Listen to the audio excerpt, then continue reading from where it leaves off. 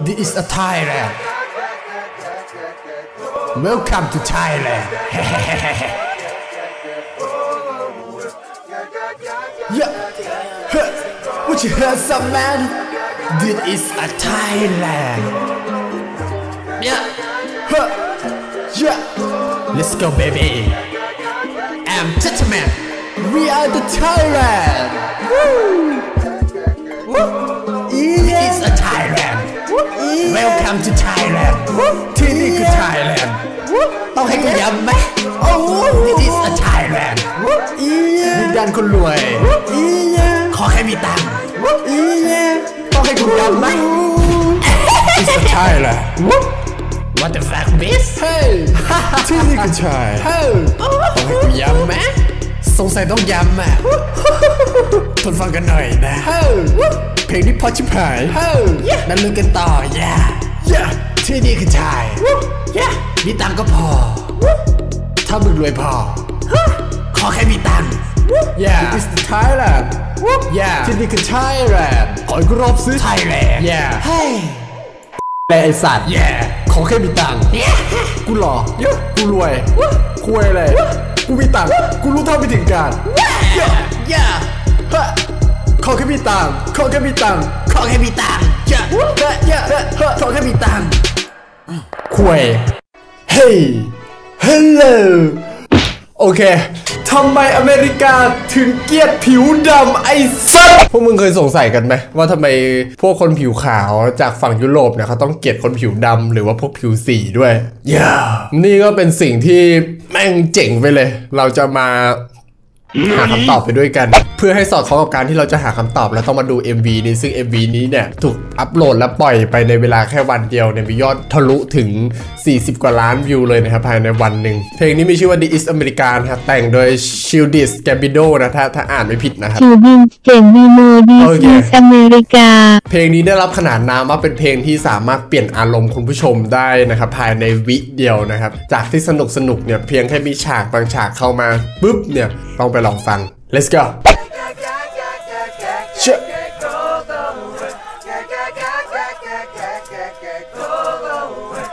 อาจจะมีบางช็อตที่ผมจะต้อง stop นะครับเพื่อพูดคุยกับคนดูนะพวกมึงก็อาจจะขัดใจหน่อย ถ้าอยากดูแบบว่าไม่ไม่ต้องมีอะไรมาขัดอะมึงก็มึงก็ไปเปิดไปเปิดเอาเองนะชื่อเพลงตามนี้เลย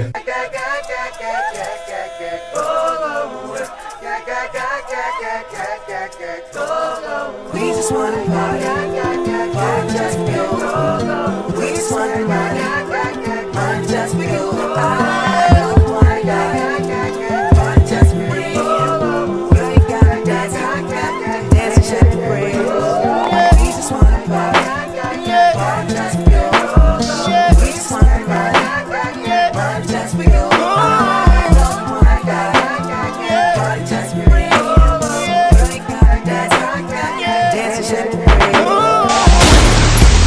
โอเคช่วงที่เขาเหนี่ยวไกลมาก็คือเขายิงทิ้งนะ แต่ว่าผมต้องขออนุญาตเพื่อที่จะเซ็นเซอร์เอาไว้นะครับ เพื่อไม่ให้แนวกูบินไอ้สัตว์ซึ่งถามว่าทำไมผมรู้สึกไม่ไม่ค่อยแบบหน้าตาไม่ค่อยเปลี่ยนเพราะว่ากูดูไปแล้วไอ้สัตว์ดูไปแล้วนะครับ ก็จะพยายาม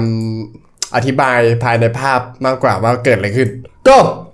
This. ตัวเอกของ MV เนี่ยก็ได้ทำการสังหารนะครับคนผิวดำนะมีคนหนึงเนี่ยเอาเอาพรมสีแดงมาบ่งบอกว่าถึงความหรูนะครับกับกลายเป็นว่าคนที่ไปยิงเนี่ยกับดูหรูหราสุขสบาย และก็คนที่ตายไปเนี่ยกลับไม่ถูกเห็นเยื่อใยอะไรเลย ซึ่งเป็นการสะท้อนบอกว่าที่ประเทศอเมริกาเนี่ยคนผิวดำเนี่ยไม่ได้รับความยุติธรรมเลยนะจริงๆผมก็ไม่ค่อยได้เอกใจสังเกตอะไรก็คิดว่ามันเป็นเพียงแค่ส่วนประกอบภายใน MV แต่พอได้ศึกษาข้อมูลเพิ่มเติมเนี่ยก็ก็ทำให้รู้เลยว่าท่าเต้นแต่ละท่านะครับที่บ่งบอก เช่นท่ายิงหรือท่าอะไรเงี้ยมันเป็นการล้อเลียนและเสียดสีนะครับจากยุคอดีต นี่ก็เป็นตัวละครจิมโคในการ์ตูนนะฮะ จะสังเกตได้เลยว่าจากป้ายที่เขียนว่า I am a man แต่ว่าคนผิวขาว พี่หนวดคราวคนนี้ก็ไม่ได้ไปออกรบด้วย ภาพนี้ก็เป็นการสื่อถึงคนผิวดำที่ไม่ได้รับความยุติธรรม Look what I'm whipping now. This is America. Don't catch you slipping now. Don't catch you slipping now. Look what I'm whipping now. This is America. Don't catch you slipping now. Guns in my area. I got the strap. I gotta carry 'em. Yeah, yeah, I'ma go into this. จริงๆท่านี้นะครับมันเป็นท่าของการท่ากลางนะครับ ก็คืออารมณ์แบบกูไม่ผิดอะกูรู้เท่าไม่ถึงการอะไอสัตว์มันไม่ได้สอนถึงอ่าพระเอกใน MV นะครับแต่สอนถึงอ่าคนที่เต้นประกอบด้วยนะครับจากด้านหลัง Yeah, yeah, this is Gorilla. Yeah, yeah, I'ma go get the bag.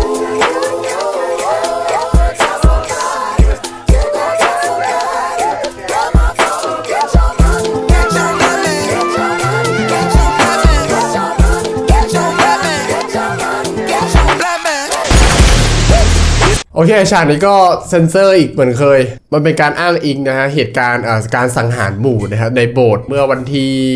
17 มิถุนายนนะครับเอ่อเมื่อ 4 ปีกี่ปีวะ ประมาณ 2015 ก็ก็นับไปฉากนี้ก็เป็นเหตุการณ์จริงนะครับ ที่มีคนผิวขาวเนี่ยกาดเข้าไปยิงในโบสถ์แล้วมีผู้เสียชีวิตจำนวนมากนะครับ แต่ผิวขาวผู้นี้เนี่ย ทุกวันนี้ก็ยังอย่างเงี้ยครับ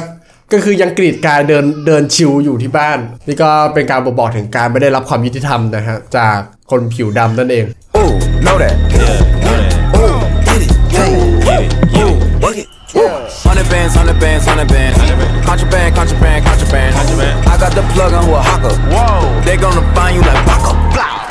นี่ก็เป็นฉากที่ทำท่าถือปืน ฉากนี้ก็ไม่มีอะไรครับ ก็แค่ทำท่าถือปืนนะครับแต่ในมือไม่มีอะไร แล้วสักพักเขาก็ควักเอ่อบุหรี่ใช่ไหมเขาเรียกว่าอะไร ก็ไฟแช็ก America. I just checked my following list. ฉากนี้ก็ตรงกับทางบ้านเขานะฮะก็คือมีโจรคนหนึ่งนะครับพยายามจะควักบางสิ่งบางอย่างออกมา แต่ในมือเขากลับไม่มีอะไรนะ แต่ตำรวจก็ดันไปฆ่าเขาทิ้งนะฮะเพียงแค่โจรคนนั้นเนี่ยจะเอื้อมหยิบมือถือ แล้วสุดท้ายตำรวจคนนี้ล่ะเป็นไงเขาก็ยังชิวๆต่อไป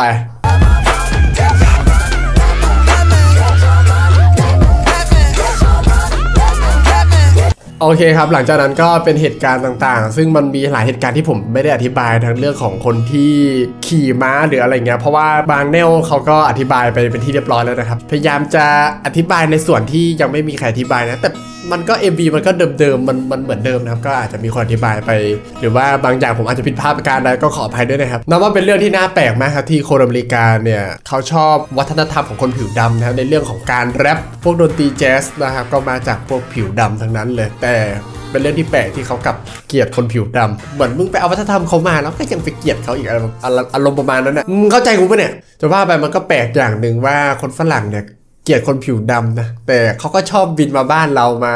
มาหาแฟนผิวคล้ำอย่าเรียกว่าดำนะครับ เพราะเพราะคนไทยไม่ไม่เชิงว่าดำนะเชิงเชิงเชิงว่าคล้ำมากกว่านะครับ เดี๋ยวมึงก็ดราม่าอีกอะหามึงว่าคนไทยดำหรอไอสัตว์ที่คนอเมริกาเนี่ยเกลียดคนผิวดำเนี่ยก็เพราะว่ามาจากยุคอดีตนะครับในการตั้งอาณานิคมแต่ก่อนนู่นเลย คือคนขาวนะครับตอนที่เขาไปตั้งอาณานิคมเนี่ยเขาไปตอนไปตอนพวก คนผิวดำนะให้มาเป็นแรงงานทาสหรือว่าเป็นพวกคนรับใช้บ้างนะครับ ก็คือพอเขาไปต้อนเนี่ยต้อนคนผิวดำเนี่ยให้มาเป็นแรงงานทาสใช่ไหมมันก็เลยเป็นการฝังใจของคนผิวขาวว่าเนี่ยพวกนี้แม่งคือทาสมันก็เลยส่งผลไปยันลูกหลานรุ่นต่อๆมาว่าเนี่ยมีจิตสำนึกว่าพวกผิวดำแม่งคือทาสคือพวกลากง่อยหรือว่าพวกเอ่อชนชั้นต่ำ นะฮะคล้ายๆอินเดียพวกการแบ่งวรรณะชนชั้น 4 แต่มันก็เป็นเพียงแค่คนผิวขาวบางกลุ่มนะที่ยังมองและอคติกับพวกเขาว่าจริง ๆ แล้วเนี่ยพวกเขาเนี่ยเป็นเพียงแค่ชนชั้นที่ต่ำกว่า แต่ผิวขาวบางคนเขาก็ไม่ได้มีอคติหรือว่าไม่ได้มีการ ก็ไม่ได้มีการไปมองอะไรอย่างนั้นละ เพราะว่ามันเหมือนแบบว่าถูกเจือจางค่อยๆ เจือจางลงไป อนาคตข้างหน้ามันอาอาจจะเป็นเรื่องปกตินะครับที่คนทั้งสองสีผิวเนี่ยจะมาอยู่ร่วมกันได้อย่างไม่มีปัญหาอะไรกันอีกแล้ว แล้วถามว่าทำไมต้องเกลียดขนาดนั้น คือไปใช้เขาเป็นแรงงานทาสหรืออะไรอย่างงี้ใช่ไหมครับแล้วแล้วไปเกลียดเขาทำไมอะไรเงี้ยคนก็มักจะถามก็คือหลังจากที่พวกผิวดำเนี่ยไม่ได้รับความยุติธรรมนะครับ พวกเขาจึงเกิดการต่อต้าน เช่น การก่ออาชญากรรม การปล้นลักทรัพย์หรืออะไรเงี้ยทำให้ผิวขาวมักจะโทษเลยว่า มันเป็นเพราะพวกผิวดำที่มาก่ออาชญากรรมหรืออะไรอย่างนี้นะครับ ทำให้คนอเมริกันเนี่ยเกลียดผิวดำยิ่งขึ้นไปหนักขึ้นไปอีก นี่ก็เลยเป็นต้นเหตุนะครับว่าทำไมคนอเมริกันถึงเกลียดคนผิวดำส่วนนี้เนี่ยมันจะเป็นข้อมูลบางส่วนนะครับถ้าเกิดใครคิดว่ายังไงก็สามารถที่จะคอมเมนต์บอกได้นะครับหรือว่าใครมีข้อมูลเพิ่มเติมหรือสาระ ก็บอกกันได้นะไอ้เหี้ยวันนี้กูมีสาระว่ะไอ้สัตว์เป็นไปได้สำหรับใครนะที่มีความคิดเห็นยังไงก็อย่าลืมคอมเมนต์บอกกันได้นะครับ เดี๋ยววันนี้ก็ต้องขอตัวก่อน แล้วเจอกันใหม่ part หน้า thank you for watching ครับ bye bye. Bye.